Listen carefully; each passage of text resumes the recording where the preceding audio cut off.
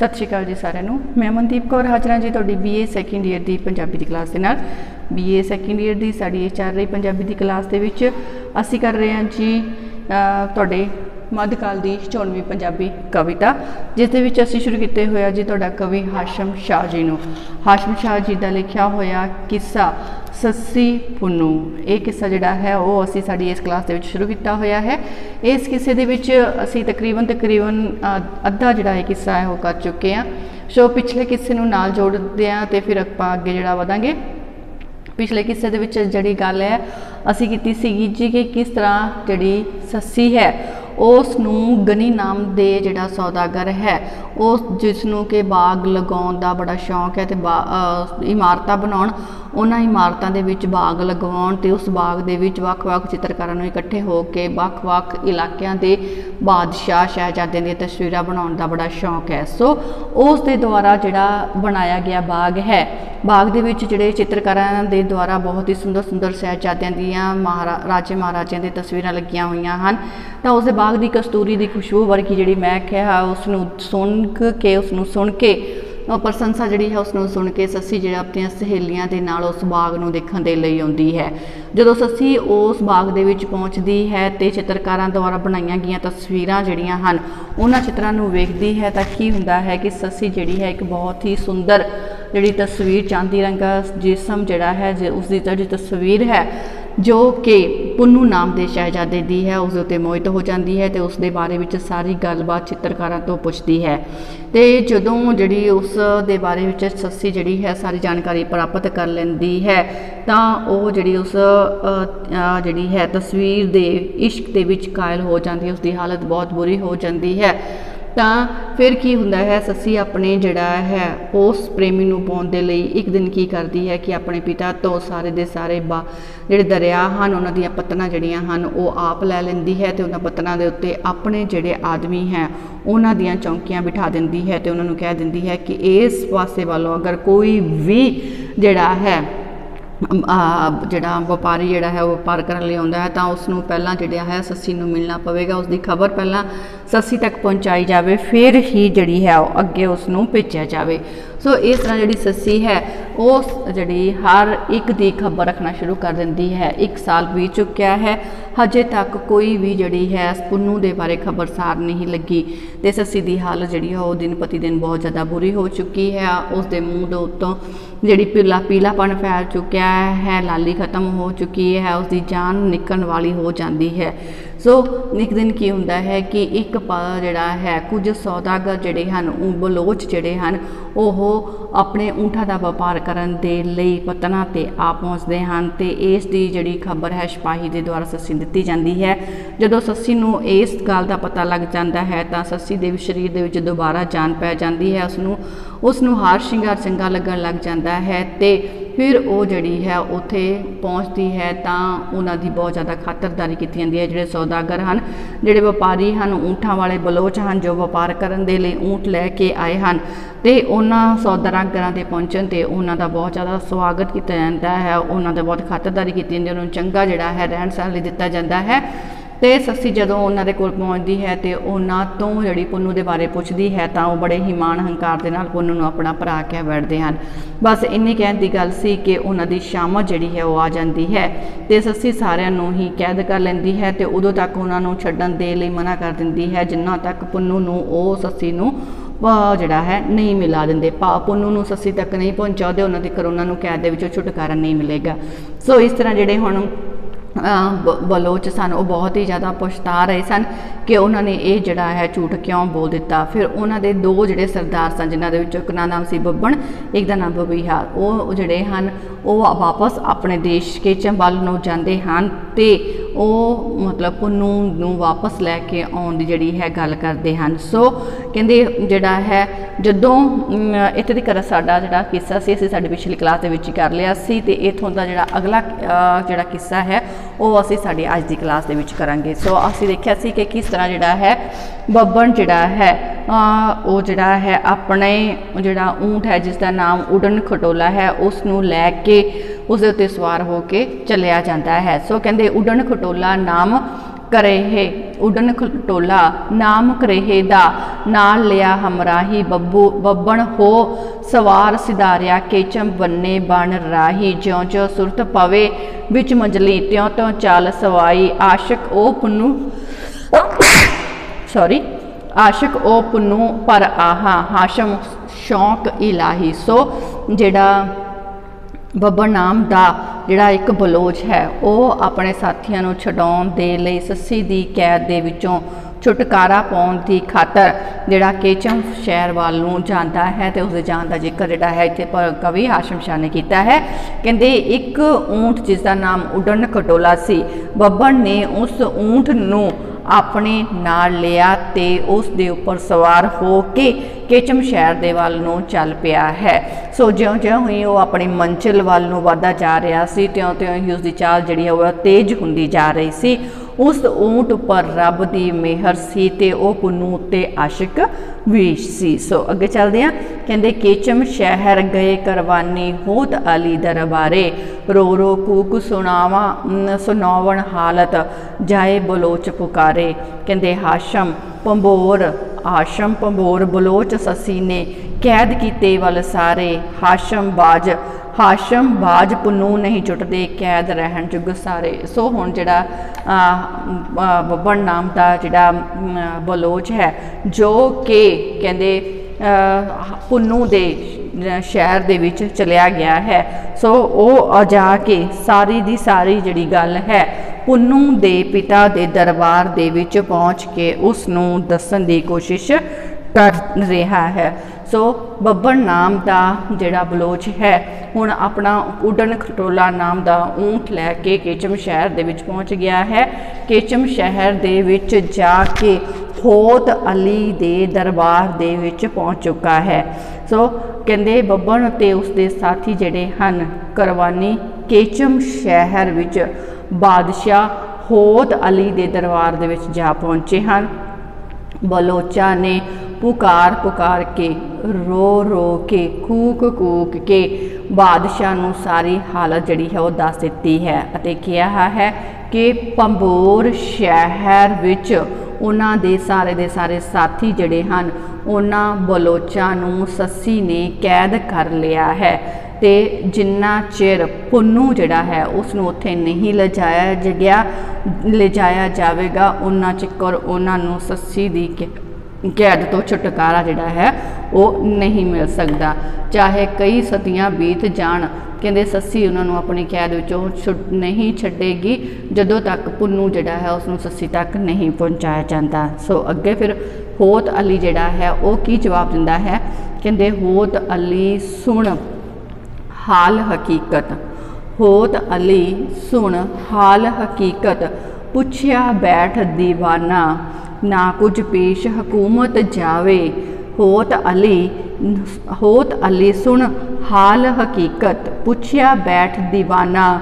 ਨਾ ਕੁਝ ਪੇਸ਼ ਹਕੂਮਤ ਜਾਵੇ, ਨਾ ਕੁਝ ਮਾਲ ਖਜ਼ਾਨਾ ਕਹਿੰਦੇ ਭੇਜਣ ਬਹੁਤ ਮੁਹਾਲ ਪੁੰਨੂ ਨੂੰ, ਮੁਲਕ ਵਿਦੇਸ਼ ਬੇਗਾਨਾ।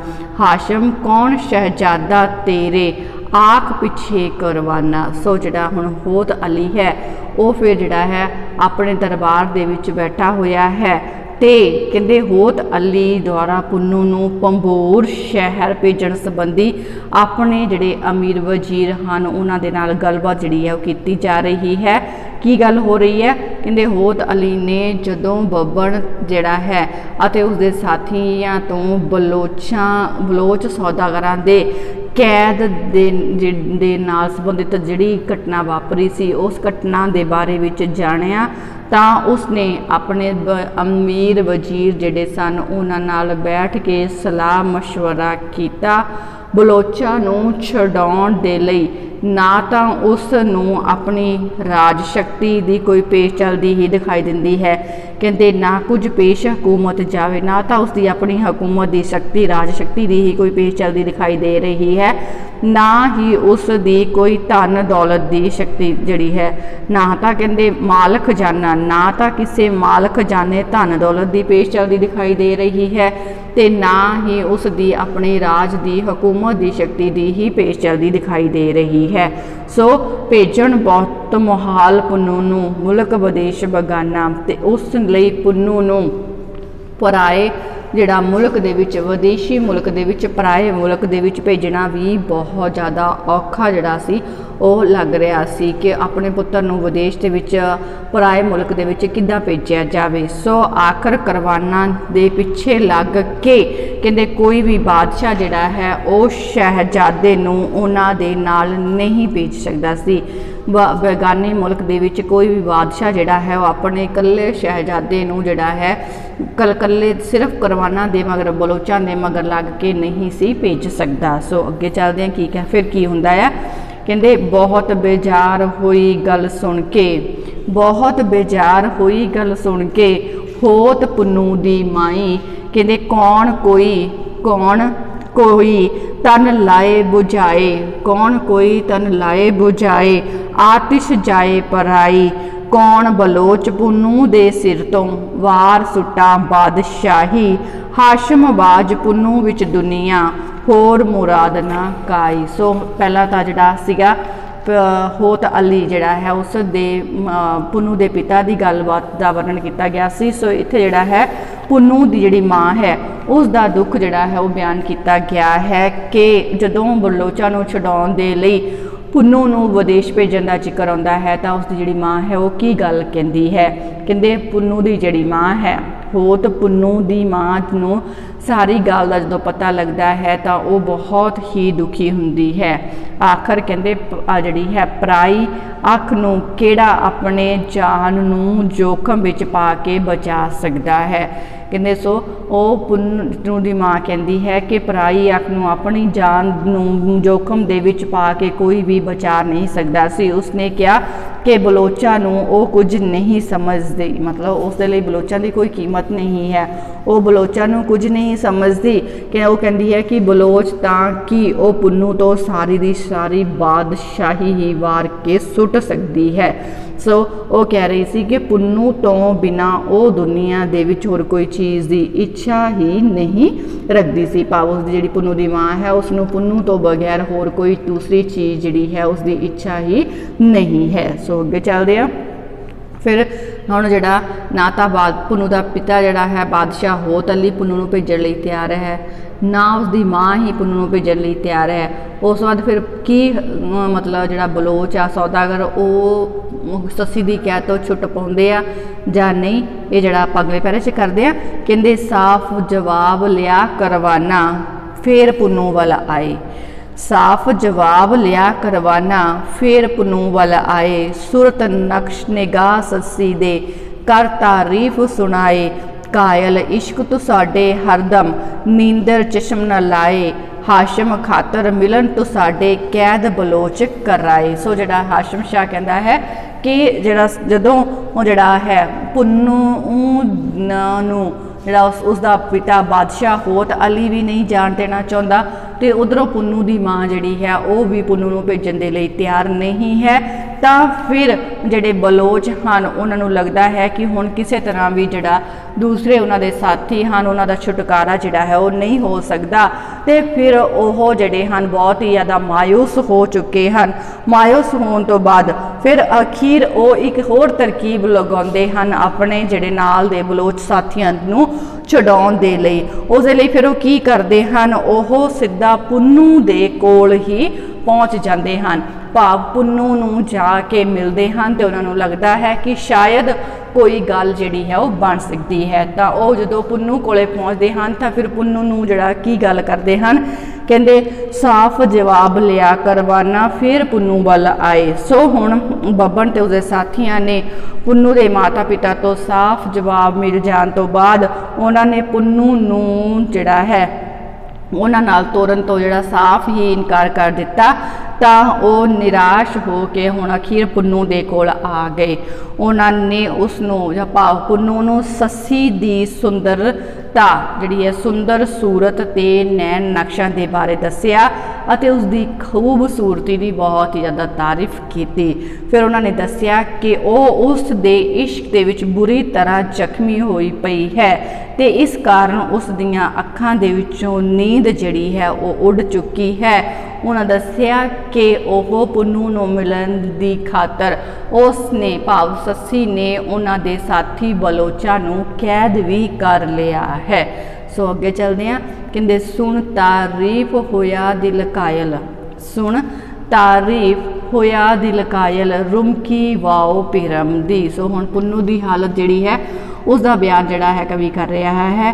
ਸੁਣ ਤਾਰੀਫ ਹੋਇਆ, ਦਿਲ ਕਾਇਲ ਰੁਮਕੀ ਵਾਓ ਪਿਰਮ ਦੀ। ਕੌਣ ਕੋਈ ਦਿਲ ਹਿਰਸ ਰਹਿਸ ਟਿਕਾਣੇ? ਕੌਣ ਕੋਈ ਦਿਲ ਰਹਿਸ ਟਿਕਾਣੇ? ਦਹਿਸ਼ਤ ਤੇਗ ਅਲਮਦੀ ਸ਼ਹਿਰ ਪੰਬੋਰ ਪੁੰਨੂ ਦਿਲ ਵਸਿਆ, ਵਿਸਰੀ ਸੁਰਤ ਕੇਚਮ ਦੀ। ਹਾਸ਼ਮ ਵਾਓ ਵਗੀ ਉਠ ਚਮਕੀ, ਆਤਿਸ਼ ਜਰਮ ਕਿਰਮ ਦੀ। ਸੋ ਬਲੋਚਾਂ ਦੇ ਮੂੰਹ ਤੋਂ ਸੱਸੀ ਦੀ ਤਾਰੀਫ ਸੁਣ ਕੇ ਹੁਣ ਜਿਹੜਾ ਹੈ ਪੁੰਨੂ ਦੇ ਮਨ ਦੇ ਵਿੱਚ ਵੀ ਇਸ਼ਕ ਜਿਹੜਾ ਹੈ ਉਹ ਜਾਗ ਉੱਠਿਆ। ਪੁੰਨੂ ਦੇ ਦਿਲ ਵਿੱਚ ਵੀ ਪ੍ਰੇਮ ਜਿਹੜਾ ਹੈ ਸੱਸੀ ਦੇ ਲਈ ਜਾਗ ਉੱਠਿਆ ਹੈ। ਇਸ਼ਕ ਦੀ ਹਵਾ ਉਸ ਦੇ ਅੰਦਰ ਵੀ ਜਿਹੜੀ ਹੈ ਉਹ ਇਸ਼ਕ ਦੀ ਚਿੰਗਾਰੀ ਜਿਹੜੀ ਹੈ ਉਹ ਪੜਕ ਉੱਠੀ ਹੈ ਤੇ ਉਹ ਵੀ ਹੁਣ ਸੱਸੀ ਨੂੰ ਮਿਲਣ ਦੇ ਲਈ ਜਾਣਾ ਚਾਹੁੰਦਾ ਹੈ। ਸੋ ਕਹਿੰਦੇ, ਸੁਣ ਤਾਰੀਫ ਹੋਇਆ, ਦਿਲ ਕਾਇਰ, ਰੁਮਕੀ ਵੋ ਪਿਰਮ ਸੋ ਬੱਬਣ ਤੇ ਉਸਦੇ ਸਾਥੀ ਕਰਵਾਨਾ ਦੇ ਮੂੰਹ ਤੋਂ ਸੱਸੀ ਦੀ ਤਾਰੀਫ ਸੁਣ ਕੇ, ਸੱਸੀ ਦੀ ਸੁੰਦਰਤਾ ਬਾਰੇ ਸੁਣ ਕੇ ਆਪਣੇ ਜਿਹੜਾ ਹੈ, ਆਪਣੇ ਲਈ ਉਸਦੇ ਪ੍ਰੇਮ ਬਾਰੇ ਸੁਣ ਕੇ ਪ੍ਰੇਮ ਦੀ ਅਜਿਹੀ ਹਵਾ, ਪਿਆਰ ਦੀ ਅਜਿਹੀ ਹਵਾ ਜਿਹੜੀ ਹੈ, ਰੁਮਕੀ ਕੇ ਪੁੰਨੂ ਦਾ ਦਿਲ ਵੀ ਇਸ਼ਕ ਦੇ ਵਿੱਚ ਕਾਇਲ ਜਿਹੜਾ ਸੀ, ਉਹ ਹੋ ਗਿਆ। ਉਹ ਵਿਛੋੜੇ ਦੀ ਜਿਹੜੀ ਦੁੱਖ ਸੀ, ਵਿਛੋੜੇ ਦਾ ਦੁੱਖ ਜਿਹੜਾ ਸੀ ਉਸ ਨੂੰ ਡਰਾਉਣੀ ਤੇਗ ਜਿਹੜੀ ਤਲਵਾਰ ਦੀ ਤਰ੍ਹਾਂ ਦੇਖ ਕੇ ਕਿਸੇ ਦਾ ਦਿਲ ਵੀ ਟਿਕਾਣੇ ਤੇ ਨਹੀਂ ਰਹਿ ਸਕਦਾ ਸੀ। ਹੁਣ ਪੁੰਨੂ ਨੂੰ ਕੇਚਮ ਸ਼ਹਿਰ ਬਿਲਕੁਲ ਹੀ ਭੁੱਲ ਗਿਆ ਸੀ। ਅਤੇ ਪੰਬੋਰ ਸ਼ਹਿਰ ਉਸ ਦੇ ਦਿਲ ਦੇ ਵਿੱਚ ਵਸ ਗਿਆ ਸੀ। ਜਦੋਂ ਪਿਆਰ ਦੀ ਹਵਾ ਵਗੀ ਤਾਂ ਉਸ ਦੇ ਦਿਲ ਵਿੱਚ ਜਨਮ ਜਨਮ ਦੀ ਸੁੱਤੀ ਹੋਈ ਪਿਆਰ ਦੀ ਜਿਹੜੀ ਅੱਗ ਸੀ, ਕਹਿੰਦੇ ਉਸ ਭੜਕ ਉੱਠੀ ਸੀ। ਸੋ ਕਹਿੰਦੇ ਸੁਰਤ ਸਵਾਰ ਪੁੰਨੂ ਉਠ ਤੁਰਿਆ ਸੁਤਰ ਸਵਾਰ ਸੁਤਰ ਸਵਾਰ ਪੁੰਨੂ ਉਠ ਤੁਰਿਆ, ਪ੍ਰੇਮ ਜੜੀ ਸਿਰ ਪਾਈ, ਰਾਤ ਗੁਬਾਰ ਜੋ ਆਹੀ ਬਹੁਤੀ, ਚੋਰ ਚੱਲੇ ਕਰਤਾਈ ਪਲਕ ਆਰਾਮ ਨਵਾਂਗ ਬੇ ਸਬਰਾ, ਰਿਜਕ ਮੁਹਾਰ ਉਠਾਈ, ਕਹਿੰਦੇ ਹਾਸ਼ਮ ਵੇਖ ਨਸੀਬ ਬਲੋਚਾ, ਭਾਈ ਪਰ ਭਾਈ ਪਈ ਬੁਰਿਆਈ ਸੋ ਜਿਹੜਾ ਹੁਣ ਪੁੰਨੂ ਦੀ ਹਾਲਤ ਜਿਹੜੀ ਹੈ, ਉਸ ਦਾ ਵਰਣਨ ਇੱਥੇ ਕੀਤਾ ਗਿਆ ਹੈ। ਕਹਿੰਦੇ ਸੱਸੀ ਦੀ ਖੂਬਸੂਰਤੀ ਜਿਹੜੀ ਹੈ, ਖੂਬਸੂਰਤੀ ਅਤੇ ਇਸ਼ਕ ਦੀਆਂ ਜਿਹੜੀਆਂ ਗੱਲਾਂ ਹਨ, ਉਹਨਾਂ ਨੂੰ ਪੁੰਨੂ ਦੇ ਸਿਰ ਦੇ ਉੱਤੇ ਪ੍ਰੇਮ ਦਾ ਜਾਦੂ ਜਿਹੜਾ ਸੀ, ਉਹ ਕਰ ਦਿੱਤਾ ਸੀ। ਉਹ ਊਠ ਉੱਠ ਕੇ, ਉਹ ਉੱਠ ਕੇ ਊਠ ਉੱਤੇ ਸਵਾਰ ਹੋ ਕੇ ਪੰਬੋਰ ਸ਼ਹਿਰ ਨੂੰ ਚੱਲ ਪਿਆ ਸੀ। ਰਾਤ ਬਹੁਤ ਹਨੇਰੀ ਸੀ, ਪਰ ਉਹ ਚੋਰਾ ਵਾਂਗ ਤੇਜ਼ੀ ਦੇ ਨਾਲ ਚੱਲ ਉਥੋਂ ਨਿਕਲ ਤੁਰਿਆ ਸੀ। ਉਹ ਬੇਸਬਰਾ ਵਾਂਗ ਜਰਾ ਵੀ ਆਰਾਮ ਨਹੀਂ ਸੀ ਲੈ ਰਿਹਾ। ਅਸਲ ਵਿੱਚ ਕੇਚਮ ਸ਼ਹਿਰ ਤੋਂ ਉਸ ਦਾ ਅੰਨ ਪਾਣੀ ਜਿਹੜਾ ਸੀ ਹੁਣ ਖਤਮ ਹੋ ਗਿਆ ਸੀ, ਹੁਣ ਉੱਠ ਗਿਆ ਸੀ ਤੇ ਜਿਹੜਾ ਉਸ ਦੀ ਸਥਿਤ ਜਿਹੜਾ ਸੀ ਉਸ ਦੀ ਹਾਲਤ ਜਿਹੜੀ ਸੀ ਉਸ ਦੇ ਬਾਰੇ ਕਹਿੰਦਾ ਹੈ ਕਿ ਬਲੋਚਾਂ ਦੀ ਕਿਸਮਤ ਦੇਖੋ, ਉਹਨਾਂ ਦੇ ਪੱਲੇ ਫਿਰ ਤੋਂ ਬੁਰੀ ਜਿਹੜੀ ਸੀ, ਉਹ ਬੁਰਾਈ ਜਿਹੜੀ ਸੀ, ਪੱਲੇ ਬੁਰੀ ਹਾਲਤ ਹੀ ਪਈ ਸੀ। ਉਧਰੋਂ ਪਹਿਲਾ ਜਿਹੜਾ ਹੈ ਬਲੋਚ ਸੱਸੀ ਨੇ ਕੈਦ ਕੀਤੇ ਹੋਏ ਹਨ। ਇਧਰੋਂ ਬੁਰਾਈ ਪੱਲੇ ਪੈ ਗਈ ਹੈ ਕਿ ਉਹ ਪੁੰਨੂ ਨੂੰ ਨਾਲ ਲੈ ਕੇ ਚੱਲ ਪਏ ਹਨ। ਸੋ ਕਹਿੰਦੇ, ਰਾਤੋ ਰਾਤ ਦਿਨੇ ਫੜ ਰਾ ਲਈਓ। ਪਲਕ ਨਥੀਵਣ ਥੀਵਣ ਮੈਂਦੇ ਪਲਕ ਨਥੀਵਣ ਥੀਵਣ ਮਾਂਦੇ। ਸੁਖ ਸਖਤ ਮਿਜਾਜ ਬਲੋਚ ਹਮੇਸ਼ਾ ਬੁਰੇ ਨਸੀਬ ਜਿਨ੍ਹਾਂ ਦੇ ਯੂਸਫ ਮਿਸਲ ਬਣਾ, ਬਣੇ ਕਰਵਾਨੀ, ਸ਼ਹਿਰੋਂ ਵਾਰ ਲਿਆਂਦੇ, ਹਾਸ਼ਮ ਬਾਦਸ਼ਾਹ ਦੁੱਖ ਪੈਂਦੇ, ਸਖਤ ਮਿਜਾਜ ਜਿਨ੍ਹਾਂ ਦੇ ਸੋ ਪਨੂ ਤੇ ਉਸਦੇ ਸਾਥੀ ਜਿਹੜੇ ਬਲੋਚ ਹਨ, ਉਹ ਪੰਬੋਰ ਸ਼ਹਿਰ ਤੱਕ ਜਿਹੜਾ ਹੈ, ਉਹਨਾਂ ਦਾ ਸਫ਼ਰ ਹੈ ਉਸ ਦੇ ਬਾਰੇ ਜਿਹੜਾ ਕਵੀ ਹੈ ਉਹ ਇੱਥੇ ਦੱਸ ਰਿਹਾ ਹੈ ਕਿ ਪੁੰਨੂ ਤੇ ਉਸਦੇ ਸਾਥੀ ਜਿਹੜੇ ਸਨ, ਉਹ ਪੰਬੋਰ ਸ਼ਹਿਰ ਪਹੁੰਚਣ ਲਈ ਰਾਤ ਦਿਨ ਦਾ ਸਫ਼ਰ ਜਿਹੜਾ ਹੈ ਉਹ ਕਰ ਰਹੇ ਹਨ ਤੇ ਤੁਰ ਤੁਰ, ਹਮੇਸ਼ਾ ਹੀ ਤੁਰਦੇ ਰਹੇ ਹਨ। ਤੇ ਇਸ ਕੰਮ ਦੇ ਵਿੱਚ ਉਹਨਾਂ ਨੇ ਪਲ ਪਰ ਵੀ ਢਿੱਲ ਨਹੀਂ ਦਿੱਤੀ ਹੋਈ ਹੈ। ਬਲੋਚ ਹਮੇਸ਼ਾ ਹੀ ਸਖਤ ਸੁਭਾਅ ਵਾਲੇ ਹਨ, ਪਰੰਤੂ ਉਹਨਾਂ ਦੀ ਕਿਸਮਤ ਹਮੇਸ਼ਾ ਹੀ ਬੁਰੀ ਹੁੰਦੀ ਹੈ। ਸੋ ਸਾਰੇ ਕਾਫਲੇ ਵਾਲੇ ਨੇ ਯੂਸਫ ਵਾਂਗ ਸ਼ਹਿਰ ਨੂੰ ਛੱਡ ਦਿੱਤਾ ਹੈ ਤੇ ਪੁੰਨੂ ਨੂੰ ਸ਼ਹਿਰੋਂ ਬਾਹਰ ਲੈ ਕੇ ਤੁਰ ਪਏ ਹਨ। ਕਵੀ ਜਿਹੜਾ ਹੈ ਤੇ ਸ਼ਾਹ ਸ਼ਾਹ ਕਹਿ ਰਿਹਾ ਹੈ ਕਿ ਦੁੱਖ ਤੋਂ ਕੋਈ ਨਹੀਂ ਬਚ ਸਕਦਾ। ਸਖਤ ਸੁਭਾਅ ਵਾਲੇ ਬਾਦਸ਼ਾਹ ਨੂੰ ਵੀ ਇਹ ਦੁੱਖ ਜਿਹੜਾ ਹੈ ਉਹ ਚੱਲਣੇ ਹੀ ਪੈਂਦੇ ਹਨ। ਸੋ ਅੱਗੇ ਜਿਹੜਾ ਹੈ ਕਰਦੇ ਆ ਕਹਿੰਦੇ, ਸ਼ਹਿਰ ਪੰਬੋਰ ਪਿਆਓ ਪਿਓ ਨੇ ਨਜ਼ਰੀ, ਆਹਾ ਵਕਤ ਸਵੇਰਾ, ਨਾਲ ਪਿਆਰ ਕੀਤੋ ਨੇ ਕਰਤਾ, ਚੁਸਤ ਚਲਾਕ ਵਧੇਰਾ ਕਹਿੰਦੇ ਨਾਲ ਹਕਮ ਹਰ ਹਕਾਰਤ ਬਾਗ ਸੱਸੀ ਦੇ ਆਣ ਕੀਤੋ ਨੇ ਡੇਰਾ ਹਾਸ਼ਮ ਛੋੜ ਦਿੱਤੇ ਨੇ ਸੁਰਤਾ, ਚੱਕਨ ਅਰਾਕ ਚੋਫੇਰਾ ਸੋ ਜਿਹੜਾ ਹੁਣ ਪੁੰਨੂ ਹੈ, ਪੁੰਨੂ ਪੁੰਨੂ ਜਿਹੜਾ ਬਲੋਚਾਂ ਦੇ ਨਾਲ ਜਿਹੜਾ ਹੈ, ਉਹ ਪੰਬੋਰ ਸ਼ਹਿਰ ਜਿਹੜਾ ਹੈ, ਪਹੁੰਚਣ ਹੀ ਲੱਗਾ ਹੈ। ਸੋ ਪੰਬੋਰ ਸ਼ਹਿਰ ਉਸ ਨੂੰ ਹੁਣ ਜਿਹੜਾ ਹੈ ਨਜ਼ਰੀ ਆ ਚੁੱਕਾ ਹੈ। ਪੁੰਨੂ ਜਿਹੜਾ ਹੈ, ਕਹਿੰਦੇ ਪੁੰਨੂ ਤੇ ਉਹਦੇ ਸਾਥੀ ਬਲੋਚਾਂ ਨੂੰ ਪੰਬੋਰ ਸ਼ਹਿਰ ਨਜ਼ਰ ਆ ਚੁੱਕਾ ਹੈ। ਸਵੇਰ ਦਾ ਸਮਾਂ ਸੀ। ਉਹਨਾਂ ਨੇ ਆਪਣੇ ਊਠਾਂ ਨੂੰ ਪਿਆਰ ਕੀਤਾ, ਜਿਹੜੇ ਕਿ ਕਾਫੀ ਚਲਾਕ ਚੁਸਤ ਸਨ। ਉਹਨਾਂ ਨੇ ਸੱਸੀ ਦੇ ਬਾਗ ਦੇ ਵਿੱਚ ਉਹਨਾਂ ਨੂੰ ਤੁੱਛ ਸਮਝਦਿਆਂ ਹੋਇਆਂ ਜਿਹੜਾ ਹੈ, ਆ ਕੇ ਉਸ ਬਾਗ ਦੇ ਵਿੱਚ ਡੇਰਾ ਲਾ ਲਿਆ ਤੇ ਚਾਰੇ ਪਾਸੇ ਹਰਿਆਵਲ ਦੇ ਉੱਤੇ ਊਂਠਾਂ ਨੂੰ ਆਪਣੇ ਨੂੰ ਚਰਨ ਲਈ ਛੱਡ ਦਿੱਤਾ ਹੈ। ਸੋ ਜਿਹੜਾ ਭਾਵ ਪੁੰਨੂ ਜਿਹੜਾ ਹੈ, ਉਹ ਸੱਸੀ ਦੇ ਸ਼ਹਿਰ ਪੰਬੋਰ ਦੇ ਵਿੱਚ ਪਹੁੰਚ ਚੁੱਕਾ ਹੈ। ਸੋ ਅੱਜ ਦੀ ਕਲਾਸ ਦੇ ਵਿੱਚ ਅਸੀਂ ਇੰਨਾ ਹੀ ਕਰਾਂਗੇ।